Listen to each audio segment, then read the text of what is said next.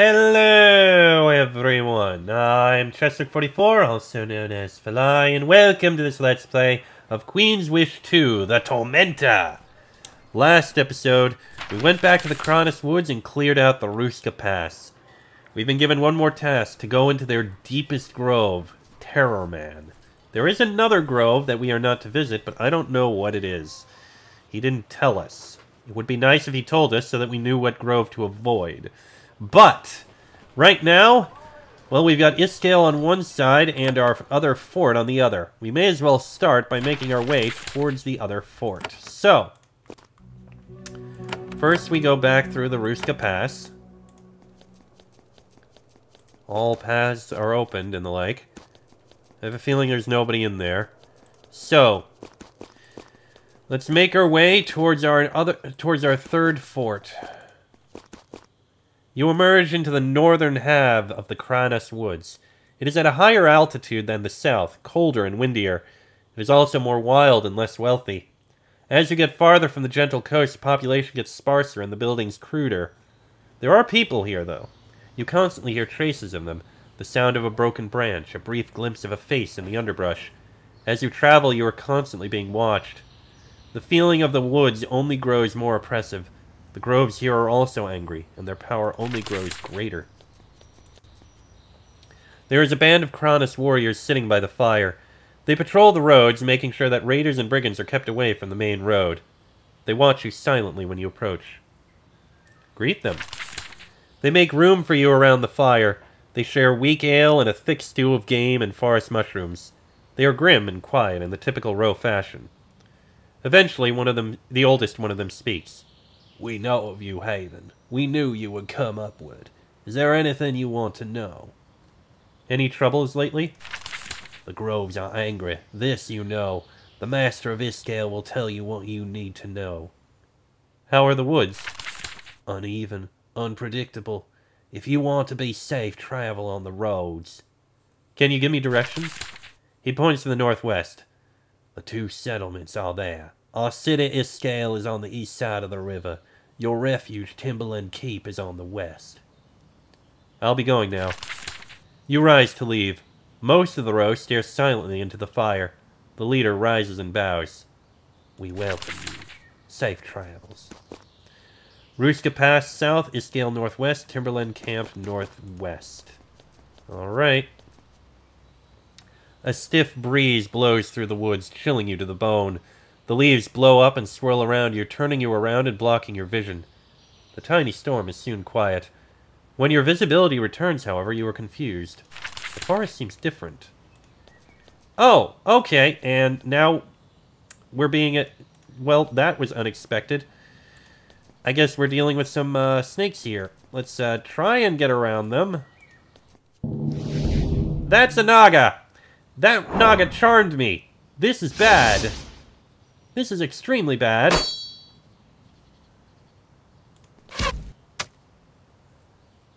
The Naga is the big one that has to die.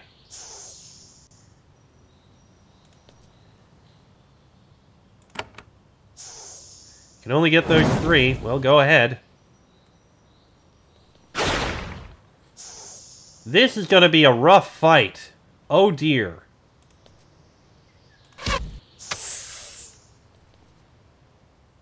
Oh yeah, we need to haste. We need to get some blessings on us.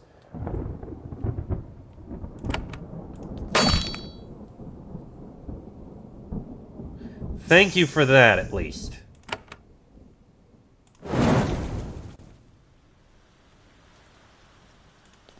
Okay, there goes one serpent.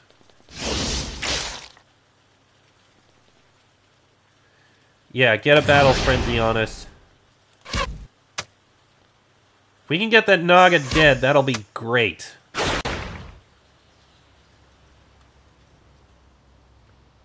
Alright. Another fireball. The Naga's almost dead. That's good. Actually, no. Haven's Mercy. Our back line is badly wounded.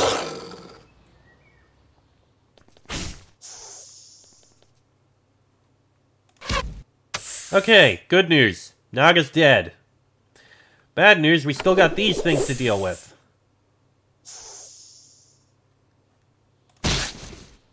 That great serpent is almost dead. now it is. Alright, two more to deal with. Taking a lot more than I'd like to deal with, but we are dealing with it.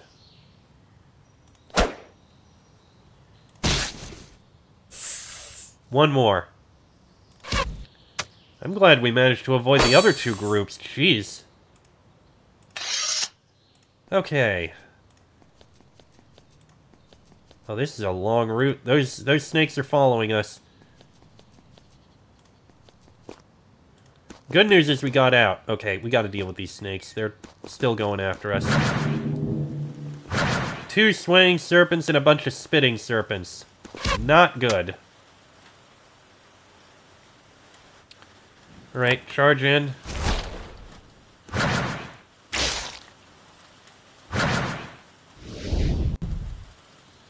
Thank you for resisting the charm.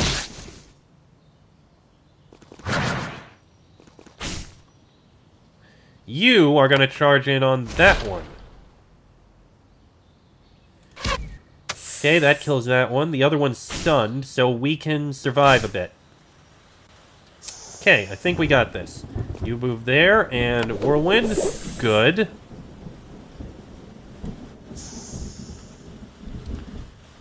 Okay, we're gonna get through this. This one isn't as bad as I thought it would be.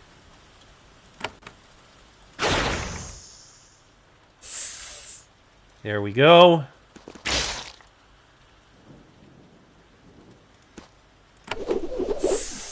Alright, one more spitting serpent to deal with. We got this. There we go. And a big healing for us. And we're fine. Okay. Timberland Keep North. We're going to the Keep first.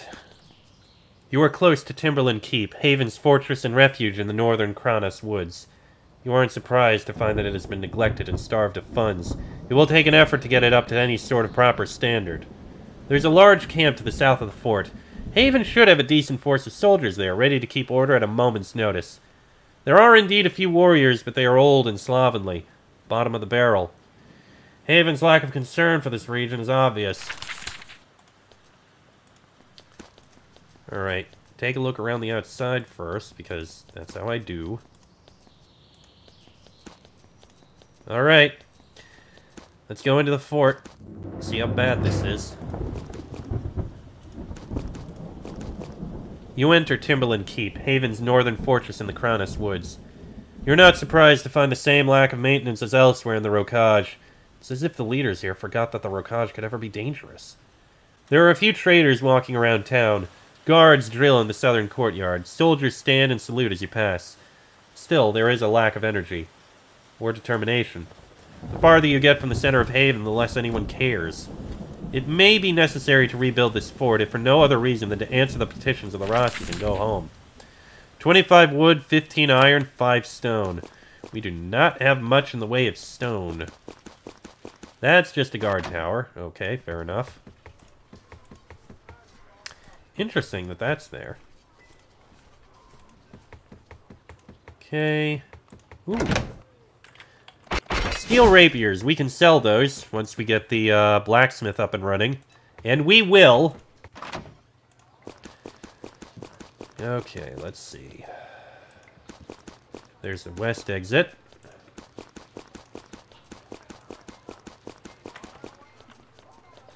Still got a lot of guards out here, at least. So there's that.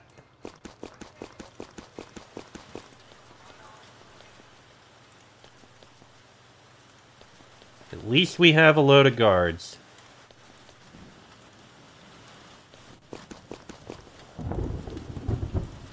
Right, round about this side.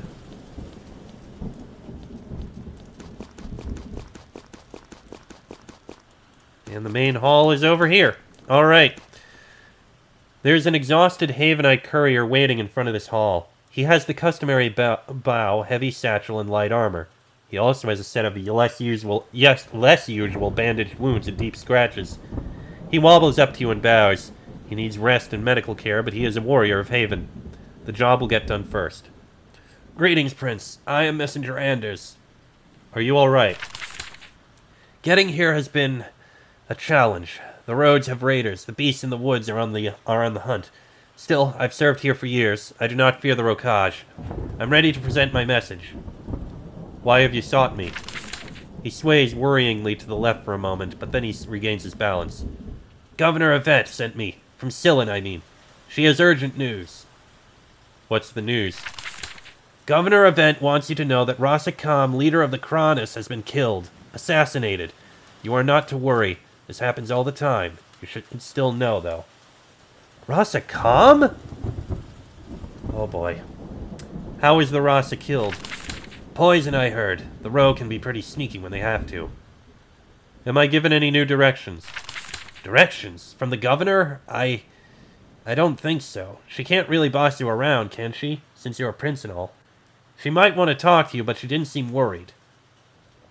Thank me. Thank you for this news. Dismissed. He bows again. Thank you, Prince. I'm going to our hall. I think I need a few stitches. Okay, Rasakam is dead. That's very worrying.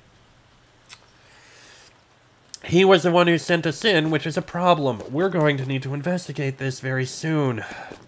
For now, let's take a look at the fort. Of course, there's messages here. The mist in the mirror turns green and forms the shape of Delia's face. It is unnerving. Greetings, Prince of Haven. I have heard that you won a minor victory. You fought your way into the inner Kranis woods. Soon you will pacify that strange forest. I can feel it. I have quite a tale to tell you. And soon you will, as we sit by a fire in the palace and sip tea. I don't have time for a story now, though. Things are in chaos. Uh, don't worry, I will deal with it. These woods are getting dangerous. To the locals, perhaps. To one with your resources and training? It was only the random lashing about of wild magic. Has to be dealt with from time to time. I have received reports from the woods, and I have performed some analysis. And the results of your analysis? The main source of the problem in the Kranis woods is the corruption of their sacred woods. Easy enough. Explain how this makes things easy. Well, the problem is not us. The problem is the wild magic in their lands flails about randomly. Sometimes this is beneficial, sometimes not. When the magic becomes hostile, Haven has the resources to calm it again. This is a service we provide to our vassals. I know it must seem odd to you, but this is a standard problem. This is really a standard problem. I wish you would listen to your tutors more. Haven's empire is huge. There are 23 known enchanted woods. Each one of them, at some point, has gotten angry. Then our warriors and sages calmed them. This really is easy. Go to a few of their sacred groves and purge the angry magic. Declare victory, approve their governor with vague promises of improvement. Haven is their hero once again. Problem solved. Are killer trees really so common a problem? Not common, I would say. Heavy concentrations of wild magic attack on average every 20 years or so. Of course, it is possible that Governor Yvette's excess logging triggered this incident, which is why we will deal with her. In the future. But what about their corrupt governor?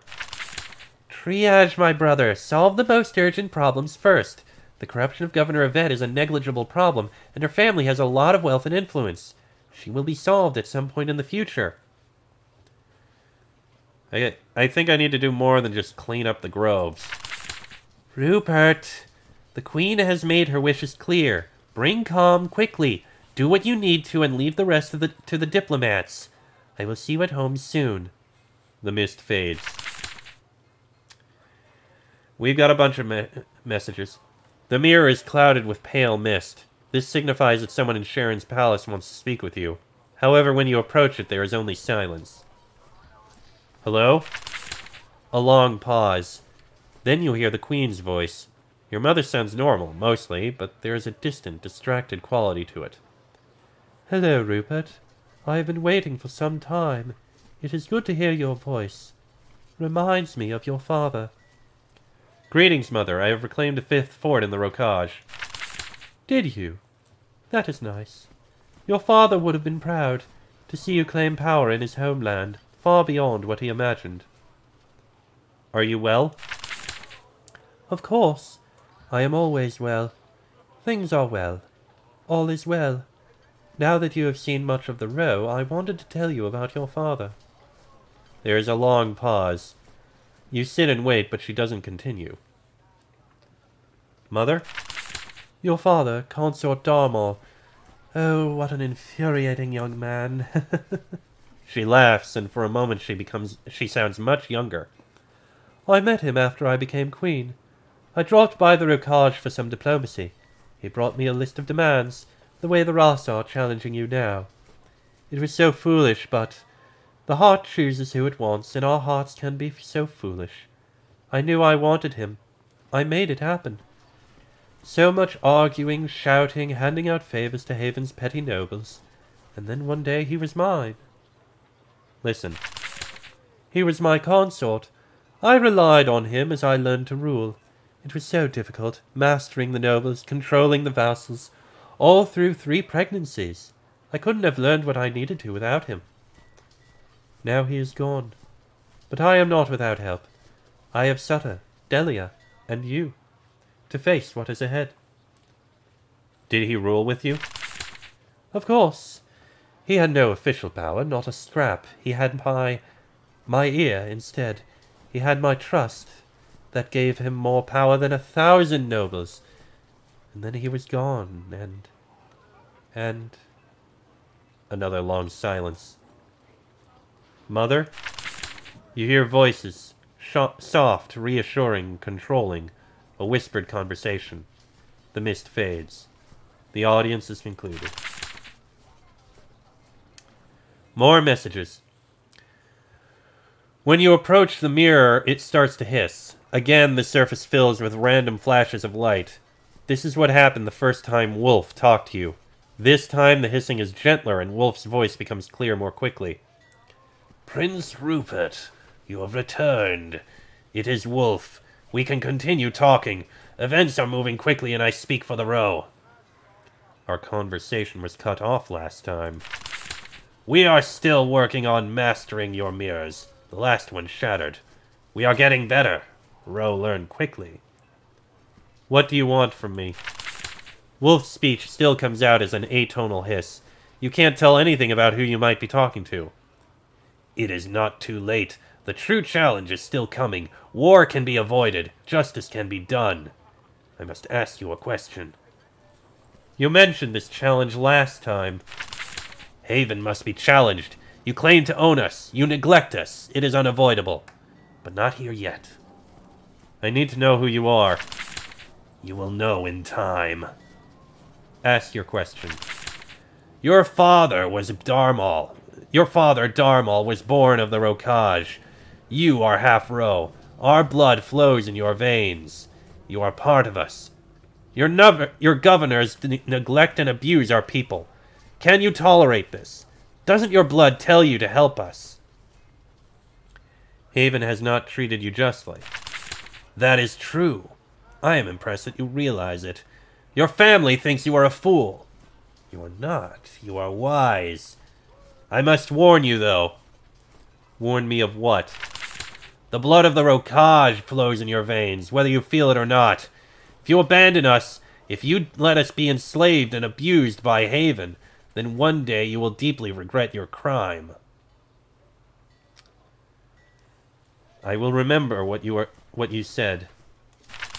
Leave your mind open. Perhaps we can convince you that it is best for Haven to leave the Rokaj.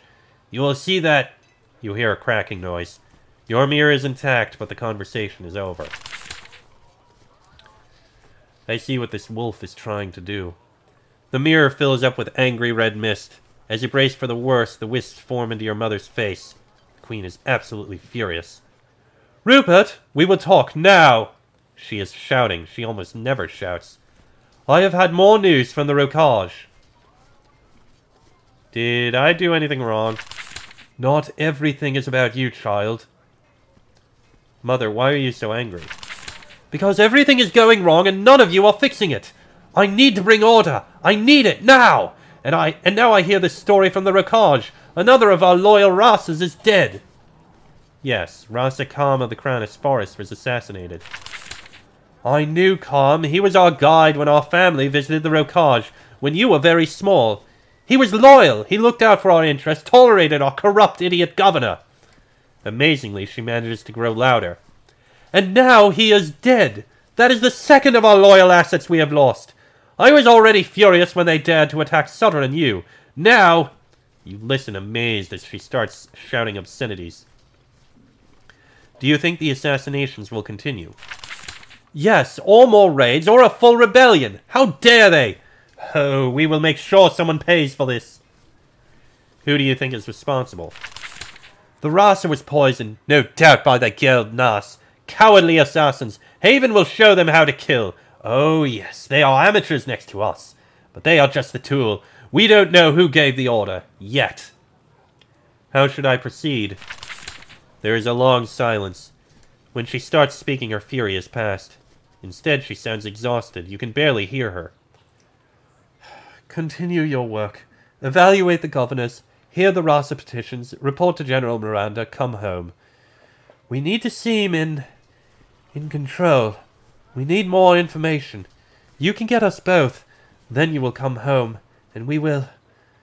will strike. Are you all right, Mother? I am fine. Just angry. All is well. All is well. I will find out who's responsible and get revenge. Anything you can learn is good, my child. You do not need to act. Don't risk more danger than necessary. We have people for that. Complete your mission. You wait for her to say more, but she doesn't. There is a long silence. Eventually, the mist clears. Nothing else. Alright. Chief Gippius.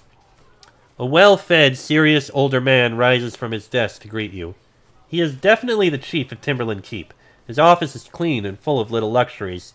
The lack of care outside has not infected the, the chambers of the leaders. My prince, I am so honored. I am Chief Gippius, and this is Timberland Keep. It is a proud outpost on the very edge of our empire. Please, let me give my report. I'm sure you will be pleased with how things are going.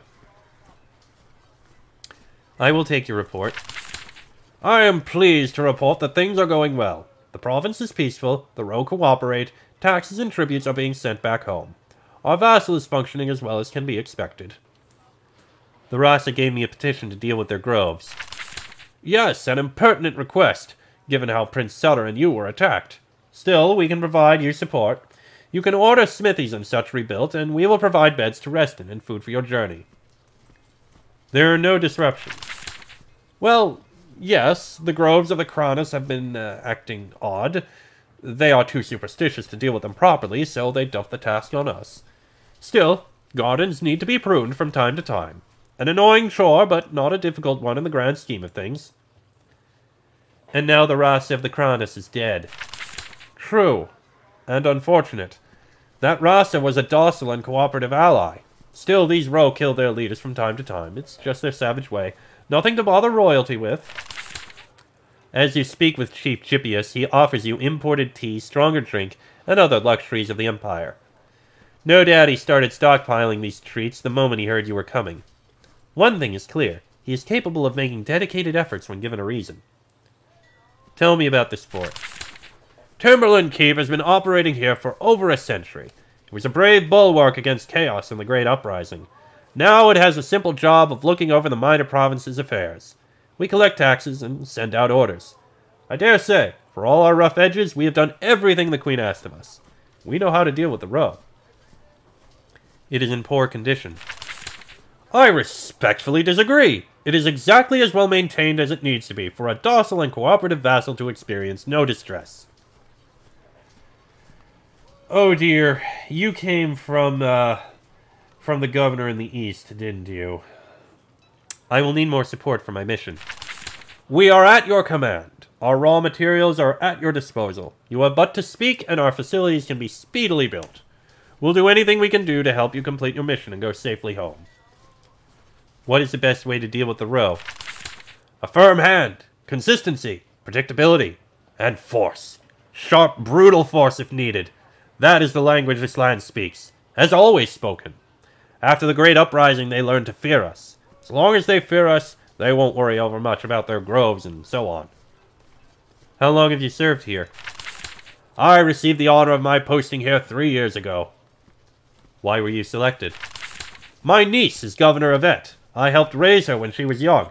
This gave her ample opportunity to see my wisdom and skills. She was able to select me for the post with absolute certainty of competence. Of course, Yvette. Oh, this whole place needs to be redone. Okay. I met Councillor Abelin. He told me about how Yvette is as governor. Hmm, yes, it was clear from early on that Abelin was malicious and treacherous. I warned the governor, but she is sometimes too kind and generous for her own good. And what is your response to his claims? Again, he is ambitious. He had the ear of a prince, and he used it.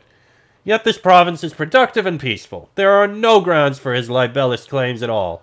He is lucky that he is allowed to stay here at all. I need more supplies to rebuild this fort.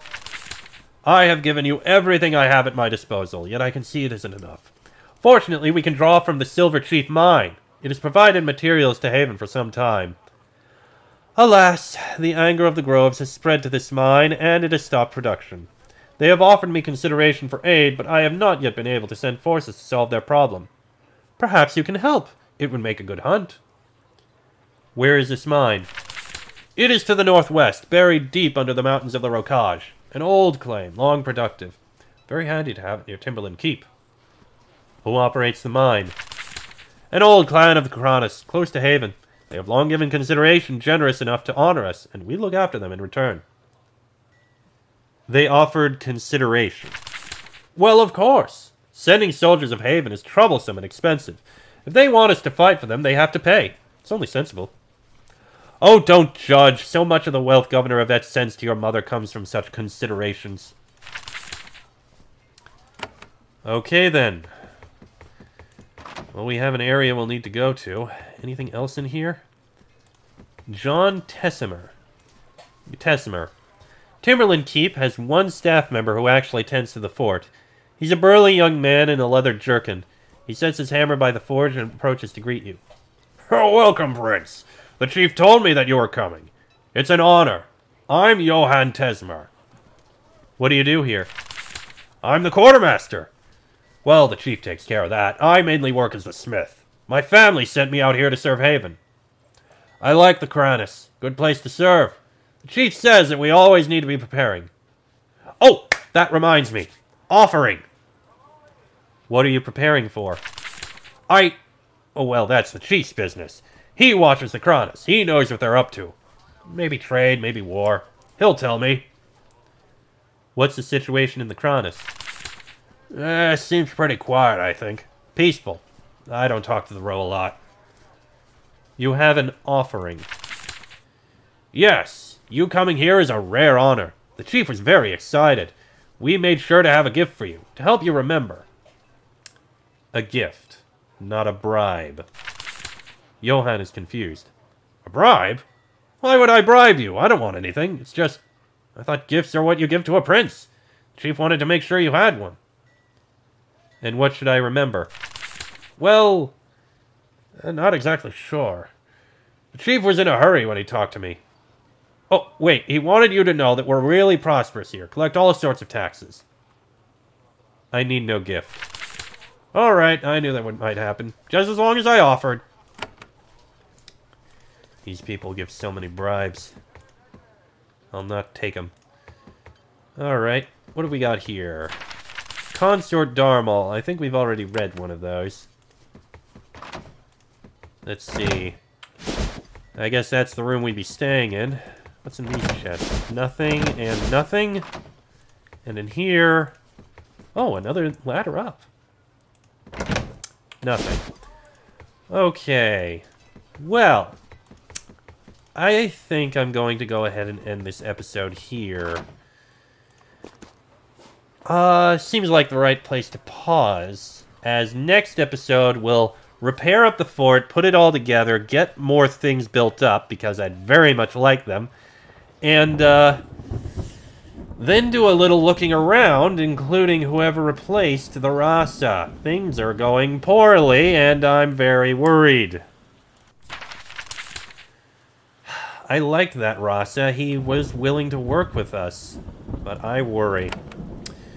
But that'll be in the next episode. So until then, I am Chessrook44, also known as Fly. That is Rupert, Elspeth, Terrence, and Patricia. This has been a Let's Play of Queen's Wish 2, The Tormentor.